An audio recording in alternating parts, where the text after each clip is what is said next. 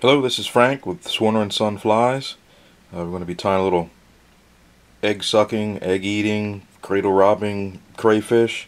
It's a little buggy looking fly, uh, not too tough to tie and uh, fairly simple materials to get. So in the, in the back here, in the rear, the uh, eggs, these are actually just glass, small glass beads from a craft store and they're just slid down a piece of 25 pound monofilament. Um, then in the rear here, all these long hackles are all uh, ringtail pheasant rump feathers. So what you want in the rear is a large uh, ringneck rump feather, then a medium one in the middle, and a smaller one at the front. And then in between those sections is uh, ice dubbing in pheasant tail color. And on the top of the body here we have two hen pheasant feathers uh, anywhere on the body. They just have real nice uh, modeling to them and they'll be tied flat so it gives it the kind of the carapace look for a crayfish. And the thread we're using is just a 6 aught uh, uni thread. So here we go.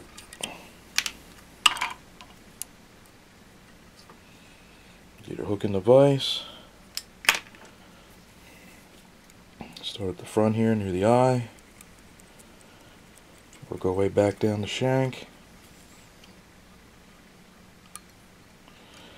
About to the the hook point, maybe a little bit further than the hook point. I'm going to go forward again, the midpoint of the body here. So I'm going to take a piece of 25 pound monofilament. Nothing special. There's not. Uh, this has nothing to do with holding the fish or anything like that. It's just uh, used as a means to carry the beads. So here's the beads. They just come in like a little plastic tube um, Czech glass beads. So there's all kinds of colors. Again, these are glass, so they're not going to last forever. Um, they will fade in the sunlight and they will you know crack if when you're fishing if you hit um, your fly hits the rocks. So you want to want to watch that. So basically, just uh, take the mono, slide it right through the center of the beads. And it's up to you how many you want to put on um, four, six, eight, whatever it is. Uh, I'm going to put on six for this guy.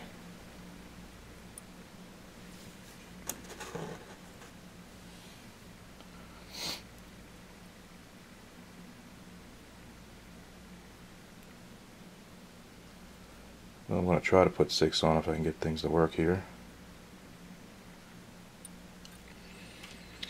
One more. Alright, so just going to bend that mono down, bend it around and tie it to the other side of the uh, hook shank here. With one or two turns, then I can uh, pull that mono and make it tight and see where I'm at as far as my tying point. And here I'm going to move it back a little bit so they're both even. Alright, so that'll act as a little egg cluster, a little hot spot, something for them to, the steelhead to think it's something for them to eat. That mono off, clip it. It's up to you if you want to put glue on there now or anything like that, but there's really not going to be that much pressure, you know, pulling on the eggs or anything like that, so they should stay in just fine. Take some ice dubbing, put a little bit on the thread just want to make a little just a little ball of it there right at the rear so then my thread should be uh, hanging just in front of the uh, hook point. So now I'm going to take my large uh, feather. I want to fold those bend those barbs back the opposite way. That way I have the tip exposed. I can tie it in by the tip. Move the thread forward out of the way a little bit. I'm going to stroke all these fibers back so they're flowing towards the rear. And I want to keep doing that as I wrap this pheasant rump feather. Again, this is the large one.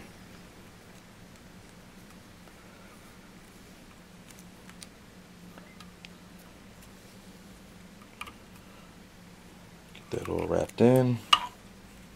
Tie off that stem.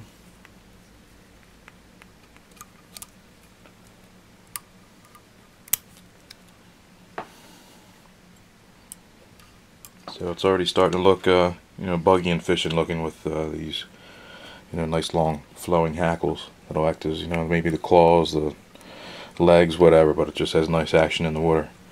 So next we're going to make a body segment out of the ice dubbing. Again, this is pheasant tail color. You can use, doesn't have to be flashy. You can also use regular old hair as your dubbing or a tan or um, just something with a tan color or even a brown color would be good for this color combo.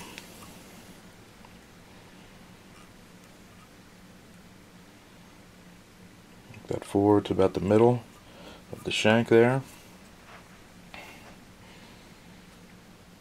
So next we'll take our medium pheasant rump feather, pull those fibers back, trim this tip a little bit. Go ahead and tie that in. Again, just wrap it around the shank.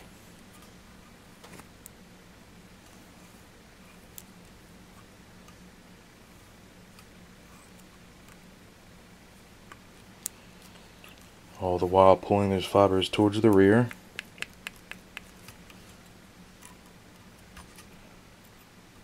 Wrap that stem off, give it a trim.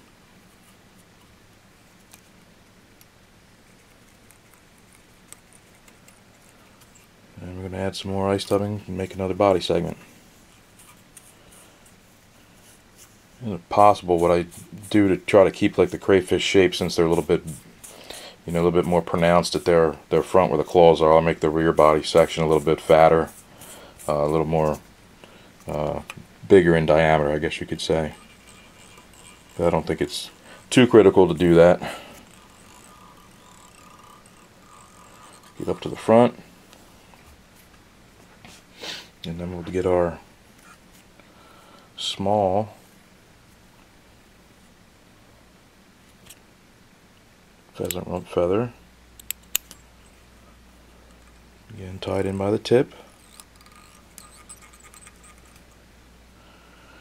I'm going to use my uh, hackle pliers for this one since the, the stem broke when I was pulling some of the fluff off the bottom.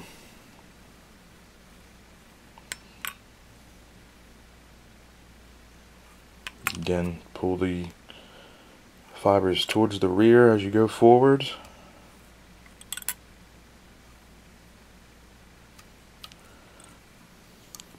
All those fibers. Tie that stem down, trim the excess.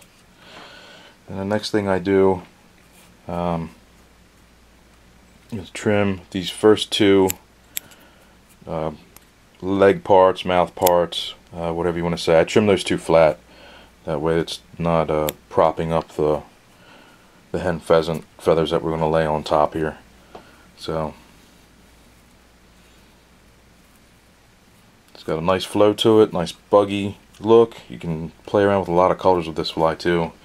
And the browns work, you know, very well for the steelhead up there, but so do uh, you know the blacks, even even a different color like a purple one with uh, like a pink egg or orange egg seems to work as well. So next we have two hen pheasant feathers. So I love the modeling on these as you can see. So one's a little larger and one's a little bit smaller. So what I'm going to do is tie them in at the same time so I have them so the tips are staggered. So it has a little different look to it and maybe a little different flutter in the water.